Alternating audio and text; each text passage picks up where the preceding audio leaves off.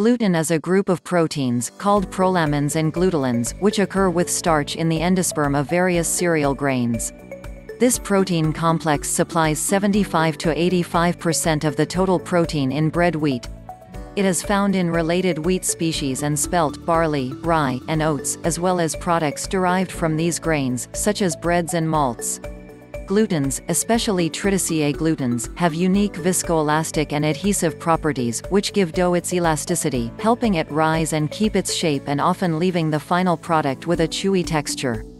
These properties and its relative low cost are the reasons why gluten is so widely demanded by the food industry and for non-food uses. Prolamins are, by convention, referred to with different names dependent on the grain from which they are sourced. When found in wheat, prolamins are referred to as gliadins, in barley, they are referred to as hordeins, in rye, secalins, and in oats, avenins. These protein classes are collectively referred to as gluten. True gluten is limited to these four grains.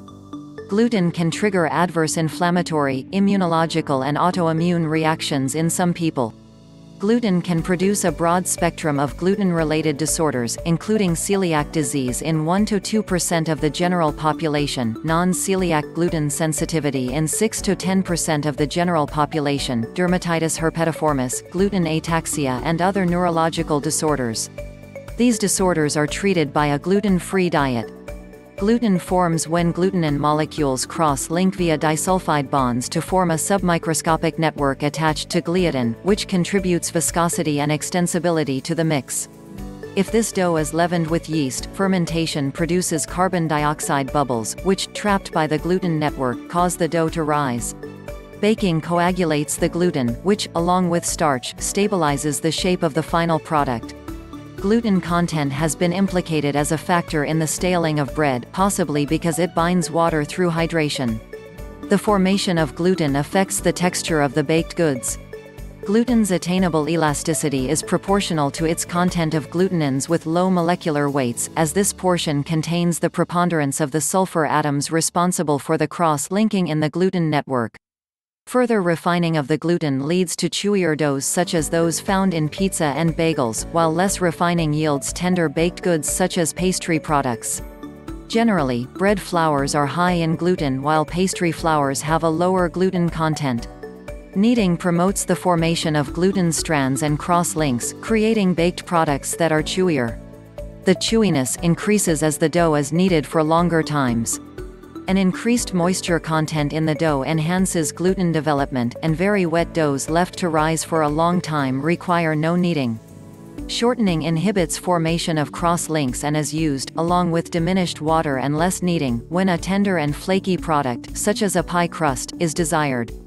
The strength and elasticity of gluten in flour is measured in the baking industry using a farinograph. This gives the baker a measurement of quality for different varieties of flours when developing recipes for various baked goods. In industrial production, a slurry of wheat flour is kneaded vigorously by machinery until the gluten agglomerates into a mass. This mass is collected by centrifugation, then transported through several stages integrated in a continuous process. About 65% of the water in the wet gluten is removed by means of a screw press, the remainder is sprayed through an atomizer nozzle into a drying chamber, where it remains at an elevated temperature for a short time to allow the water to evaporate without denaturing the gluten. This flour-like powder, when added to ordinary flour dough, may help improve the dough's ability to increase in volume. The resulting mixture also increases the bread's structural stability and chewiness.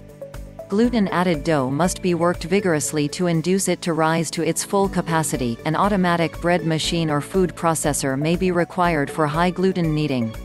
Generally, higher gluten levels are associated with higher overall protein content. Gluten, especially wheat gluten, is often the basis for imitation meats resembling beef, chicken, duck, fish and pork. When cooked in broth, gluten absorbs some of the surrounding liquid including the flavor and becomes firm to the bite.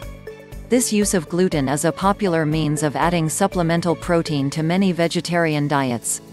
In home or restaurant cooking, wheat gluten is prepared from flour by kneading the flour under water, agglomerating the gluten into an elastic network known as a dough, and then washing out the starch. Gluten is often present in beer and soy sauce, and can be used as a stabilizing agent in more unexpected food products, such as ice cream and ketchup. Foods of this kind may therefore present problems for a small number of consumers because the hidden gluten constitutes a hazard for people with celiac disease and gluten sensitivities. The protein content of some pet foods may also be enhanced by adding gluten. Gluten is also used in cosmetics, hair products and other dermatological preparations. Celiac disease is a chronic, multiple organ autoimmune disorder primarily affecting the small intestine caused by the ingestion of wheat, barley, rye, oats, and derivatives, that appears in genetically predisposed people of all ages. Celiac disease is not only a gastrointestinal disease, because it may involve several organs and cause an extensive variety of non-gastrointestinal symptoms, and most importantly, it may be apparently asymptomatic. Many asymptomatic people actually are not, but have become accustomed to living with a chronic bad health status as if it were normal, and they are able to recognize that they actually had symptoms related to celiac disease after starting the gluten-free diet and improvement is evident, in contrast to the situation prior to the diet. People with gluten-related disorders have to remove gluten from their diet strictly, so they need clear labeling rules. The term gluten-free is generally used to indicate a supposed harmless level of gluten rather than a complete absence. The exact level at which gluten is harmless is uncertain and controversial. A 2008 systematic review tentatively concluded that consumption of less than 10 mg of gluten per day is unlikely to cause intestinal damage in people with celiac disease, although it noted that few reliable studies had been done. Regulation of the label gluten-free varies.